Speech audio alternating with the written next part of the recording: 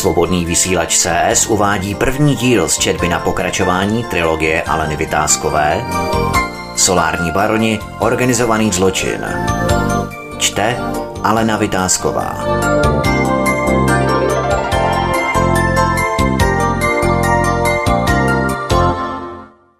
Ve stejné době probíhal politický boj o post premiéra, který nakonec vyhrál autista. Je pravda, že skupině, která řešila úplně jiné věci, bylo v té chvíli šumafuk, kdo bude premiér. Věděli, že pro jejich plány to je úplně jedno. Ti, co bojovali o tento post, byli pro jejich další jakékoliv kroky použitelní všichni. A tak se vůbec nezabývali tou šaškárnou, která byla sehrána pro prostý lid. Eda zavelel. Jdeme. A všichni vyrazili do horního patra budovy, kterou v politické restituci získal Kvido. Politickou restitucí nazývali honosně obyčejnou zlodějnu, kdy různými klíčkami odstranili původní majitele. To byl začátek spolupráce malé skupinky policistů, prokurátorů a soudců těsně po sametové revoluci. Pracovní název to mělo politické restituce. Základ byl položen záhy po ovládnutí nové politické scény a vše fungovalo dobře. Někdy se na něco přišlo, co ta partička vyváděla. Byl průser, ale vždy se to podařilo narovnat, zahladit a tak se pokračovalo dál. Kvido tomu říkal poučení z krizových let, protože po takových průserech museli udělat opatření v systému a tento zdokonalit. Tolik let se to perfektně daří, až jsem z toho vedle, hýkal Kvído nad druhou lahví vodky. To již celá parta seděla v jeho klubu. Dlouhonohá Emma si přišla přisednout. Její krátké sukně a krásné nohy fascinovaly všechny. Věděli, že zásadně nenosí kalhotky a rajcovalo je, když si sedla naproti a rafinovaně nohy přehazovala přes sebe. Měli ji již všichni, ale stále oni všichni stáli. Nebylo to jinak ani dnešní večer. Míla se šel převléct, protože dost páchl. Dnes pozvali do klubu vybrané nováčky z parlamentu. Říkali jim žížali. Na přezdívku přišel kdysi chudý, když potřebovali zkompromitovat pár nováčků, aby sekali latinu a nepřinášeli do parlamentu svá moudra. Žížala byla vždy ulovena. Emma v tom držela primát. Když před pár lety do klubu nastoupila, byla v Praze nová z vesnice. Uměla se rychle orientovat a za dva roky již byla vedoucí celého klubu a řídila společnice, které i několikrát za noc si šli se svým ctitelem odpočinout nahoru do na první pohled stroze, ale luxusně vybavených pokojíčků. Tento honosný klub nebyl přístupný všem. Patřil k Vidovi a ten plnil úkoly. Pánové se bavili a společnice byly přítulné, krásné, veselé. Prostě tu byla sranda a nic to nestálo. Nikdo se také nestaral, co to stojí, ani kdo to platí. Emma s hlubokým výstřihem na tmavomodrém svetříku značky Prada, v úzké krátké satenové sukni s temně barevnými pruhy, působila jako dáma. Také se tak chovala. Šla spát jen s tím, koho si vybrala ona a vybírala sofistikovaně. Vždy mířila do nejvyšších pater, vždy věděla, co bude chtít a nebyly to jen peníze. K půlnoci již byla celá parta rozjívena tak, že žížali dováděli hlasitě v pokojičci v horním patře. Kvído se jen usmíval, věděl, že za tento splněný úkol bude štědře odměněn. Každý pokojíček byl stejný, jen v barvě se líšil. Velká postel zabírala téměř celou plochu pokoje. Dvě designová křesla a malý konferenční stolek. Nad ním zabudovaný bar, pochopitelně s tím nejlepším pitím. Krásná koupelna, před kterou byla malá odkládací stěna a měkoučké župany. Koupelna měla velkou výřivku, sprchu, zrcadla ze všech stran, umyvadlo a WC mísu. Celý tento komplex byl doplněn uměleckými předměty. Všechny pokoje měly rozmístěné skryté kamery, včetně zvuku. Téměř vše se tu natáčelo.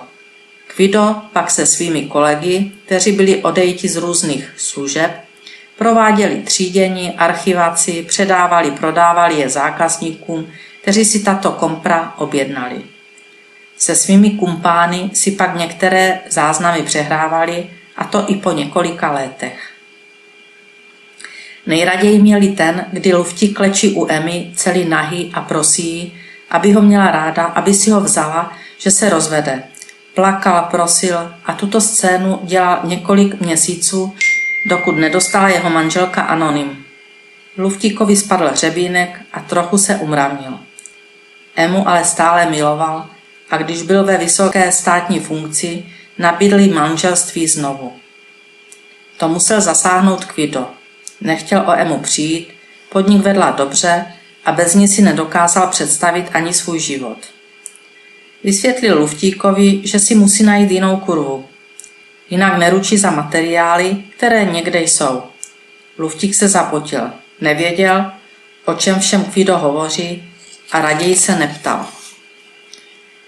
Hlavou mu jen problesklo pár průserů, které by ho dostali do tepláku, ani by nemekl. A to by mu nepomohlo vůbec nic. Ani jeho plukovník. Že by Kvido věděl o té tašce s penězi, kterou zapomněl v autě taxíku, který ho vezl z jednoho bouřlivého večírku. Peníze pro stranu, jak říkal, v hotovosti, v řádech desítek milionů korun zapomněl, ani nevěděl kde. Kdyby se taxikář za týden neozval, jestli nehledá tašku, tak by se také nic nestalo. Těch 50 milionů zas nebylo tolik. Ale průser to byl. Je fakt, že taxikář uvažoval, zda si obnos nechat a mlčet. Strach byl větší, tak se tvářil, že tašku neotevřel a vše vrátil. Jeho záhadné zmizení za pár dnů po tomto incidentu nedával nikdo do spojitosti. Nebo že by o tom Kvido něco věděl? Luftík byl znechucen. Vůbec se mu Emu nechtělo opouštět. Nebo že by Kvido měl dokumenty o zmizelém sluhovi, jak říkali jednomu správci konkursní podstaty? Prostě mu bylo na nic a nabídku k sňatku i hned stáhl. Přátelství mezi ním a Kvidem se i přes toto nedorozumění utužilo. Oba věděli, že zakolísání by mělo fatální dopad na všechny a v tom měli alespoň nějaký put sebezáchovy.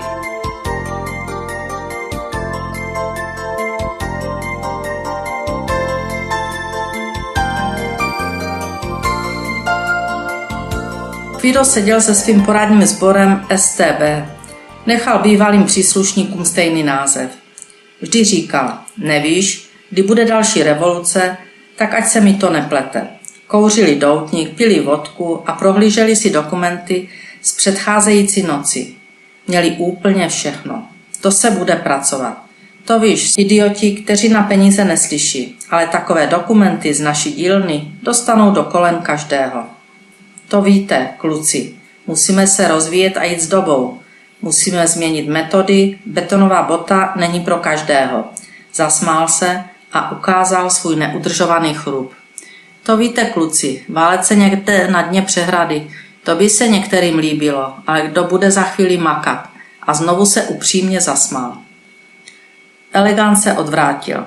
Neměl jeho úsměv rád, ale nic jiného mu nezbývalo. Když skončil v 90. letech ve službách, zůstal na dlažbě a tato práce mu vynášela tolik, že se mu o tom nikdy nezdálo. Vypracoval se na špičku ve svém oboru, nebo již špičkou byl, když ke Kvídovi nastupoval. Jeho vizitka bezpečnostního ředitele ho hřála a věděl, že je obávaný mezi svými, a to i kamarády. Byl odborník na veškerou odposlouchávací techniku a své znalosti dokázal dobře prodat. Nikdo nevěděl, kde se ke špičkové odposlouchávací technice dostává, nikdo neznal jeho zdroje, nikdo také neznal, čím vším v této oblasti se dá operovat. Byl prostě elegant. Nejen vzhledem, ale i metodami, které používal. Byl naprosto nenahraditelný pro Kvida a jeho špinavé obchody s lidskou slabostí. Elegant to věděl, ale nedal na sobě nic znát Využíval prostě všech prostředků, informací, žil na své příjmy celkem skromně. Jeho Opel Astra nezbuzoval závist, byl nenápadný i svým životním stylem. Neflámoval, nikdo ho neviděl nikdy s kurvou, nikdy se neopil, přestože měl rád víno. Nikdo neznal jeho soukromí, nikdo neznal jeho skutečné rodinné zázemí. Nikdo neznal jeho slabosti, zájmy koníčky. Chodil vždy krásně upraven, manikura na rukou byla prvotřídní. Což nebylo zase tak těžké na jeho krásných rukou, porostlých jemnými černými chloupky. Ruce i gestikulace mu dodávaly ještě větší elegance. Byl to prostě krásný chlap, vždy v padnoucím obleku, kravaty poslední módy, boty těch nejlepších značek. Nikdo také neskoumal, zda si Kvido našel Elegána nebo Elegán Kvida. Elegán se choval skromně, nenápadně, takže ani náznakem nevyčnívá mezi skupinkou STB, kterou Kvido řídil. Ani tentokrát se nesnažil zapojit do tlachání Kvida, že je třeba změnit a rozšířit metody práce. Betonové botičky, jak nazýval Kvido jednu z počátečních metod odstraňování nepohodlných lidí, ho nezajímaly. Nikdy se o tuto práci nestará, ani nebyl nikdy u žádné likvidace. Skutečnost, že vše měl zdokumentováno, věděl jen on a možná někdo další. Z této party to však nikdo nebyl. Proto se elegant cítil velmi bezpečně a působil klidným dojmem. Kvido vytáhl z aktovky z krokodylí kůže seznam men a adres, které potřebuje napíchnout. Jejich monitoring potřebuje za tři měsíce mít na stole. Věděl, že ať tam bude cokoliv, nejdříve si to vyhodnotí s vlastním týmem a pak to předá hlavou nový. Kvido byl natolik chytrý, že část informací si nechával jen pro sebe, nebo si to aspoň myslel, že to je jen jeho archiv. V jedné části tohoto luxusního domu, kde se klub nacházel, byla místnost, které říkali pracovně Meeting Room Discreet. Pánský klub, někteří zkráceně mrt. V této místnosti se setkávali s nejvyššími a nejmocnějšími, alespoň si to účastníci těchto diskrétních schůzek a setkání mysleli. Diskrétnost účastníků setkání byla zaručena důmyslnými vchody a východy, bezpečnostní technikou, projekční technikou. K této místnosti se váže jedna veselá historka. Když nastoupili žížali a byl jeden vybrán jako perspektivní pro náročnou práci, tak si ho po nějaké době nenáročné spolupráce pozvali právě k důvěrné schůzce. Tenkrát to domlouval Kvido nahoře v klubu. Žížala neuměl ani náznakem žádný cizí jazyk a Kvido na něj spustil, že bude zítra schůzka Meeting Room Discreet. 17 hodin. Tak ať se pěkně obleče, už klíbil se Kvido a ať je přesný. Bruno na tebe bude čekat tady a zavede tě. Žížala se pro jistotu zeptá, kdeže to mám být? V mrdu, řekl koutkem úst Kvido a odešel od stolu aniž by si uvědomil, jak hlubokou stopu toto slovo zanechalo a aniž by si uvědomil, že Žížala neví, o co jde. No a druhý den Žížala přesný jak hodinky. Pěkné oblečení si vysvětlil po svém a do mrdu vstoupil úplně nahý, když si ještě před dveřmi schodil dlouhý pláž až na zem a hodil ho přes ruku vyděšenému Brunovi, který se ho jen slušně zeptal, jestli si nechce raději plášť odložit. I tuto výzvu si Žížala vysvětlil po své. Plášť, který měl až do posud pevně stažen páskem, byl dlouhý, že bylo vidět sotva špičku bod. Takže u bohého Bruna ani nenapadlo, že je pod ním úplně nahý. A Žížala si zase myslela, že je to běžný rituál, že aby rychle zapadl, tak je lepší přijít již nahý. Další děj popisovat není třeba, jen jednoduchý závěr. Z tohoto žížali se nikdy nestal žádný kumpán, nikdy ho již nikam nezvali. Prostě se nehodil na nic, ani na předložení pozměňovacích návrhů. Houslista jsem chodil zřídka, protože jeho hlavní místo pro vyjednávání různých transakcí bylo u houslí v prvním patře – tuto restauraci miloval nejen pro útulnou atmosféru, ale také proto, že se tu velmi dobře vařilo, že tu měl klid pro jednání, nikdo ho nerušil a z parlamentu to měl kousek. Houslista zůstal této restauraci věrný, ať byl v jakékoliv funkci. Jeho chlapecký kukuč, šle a touha po bohatství ho předurčili do nejvyšších pozic, ale jen na krátko.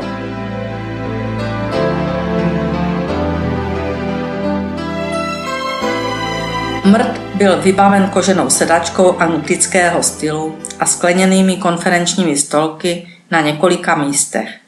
Dále se zde nacházel honosný bar, pití všeho druhu, velká televizní obrazovka, tabule, na které se dalo psát speciální tuškou a jednoduše vše napsané smazat. Textilní tapety a obrazy fily zbuzovaly spíš předvádění peněz než vkusu. Celá asi 100 metrová místnost měla jen dvě malá okna. Vstup do ní byl zamaskován na konci chodby speciálním zařízením celá věrohodnou knihovnou, která se odsunula automaticky při zadání kódu na zrcadle, které bylo pověšeno na konci chodby a číselný kód nebylo možné na něm vidět, pokud jste celý systém neznali. Z pánského klubu byl východ ještě jeden a ten byl v podlaze opět odsunutím krbu, který byl jinak funkční. Celý projekt a vybavení mrdu měl na starosti před léty právě Elegán a ujal se toho velmi odborně. O tom, že tu jsou rovněž odposlechy, tabule, že přenáší vše, co se zde zaznamená a o dalších odposleších věděl jen on, pouze on a nikdo jiný. Tuto místnost všichni považovali za zcela bezpečnou. V každém rohu byly tzv. rušičky, kdyby si někdo zapomněl dát mobil do ocelové skřínky, která byla v levém rohu naproti okna hned u Midoru. Místnost využívali jen špičky politiků a biznismenů, prostě vybraní jedinci, kteří k sobě měli blízko. Pokud sem přicházeli, jak říkali, ze spoda přímo z garáže, dostali se přes nenápadné požární schodiště až k vstupu přímo do místnosti. Když se posunul krb a vešli po úzkém schodišti přímo. Tohoto vchodu využíval jen předseda a pochopitelně elegán, který měl i tuto místnost z hlediska bezpečnosti na starost se svými lidmi. Nebylo to jinak ani toho příjemného jarního dne, kdy měli jednu ze svých prvních tajných schůzek Hlavoun a Modrooky. Hlavoun si chtěl Modrookého tak trochu proklepnout, jestli je opravdu tak bystrý, jak na něj působil před pár týdny nahoře v klubu, kdy přišel s celkem dobrým nápadem tunelování veřejných peněz. Věděl, že se Modroky spojuje s různými účelovými skupinkami, a to i v zahraničí, odkud má mnoho inspirací a Bůh ví jaké peníze.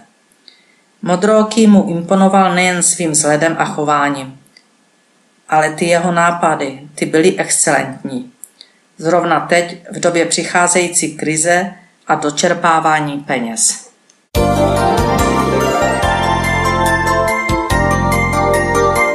Svobodný vysílač CS uváděl první díl z četby na pokračování trilogie Aleny Vytázkové Solární baroni, organizovaný zločin. Četla Alena Vytázková.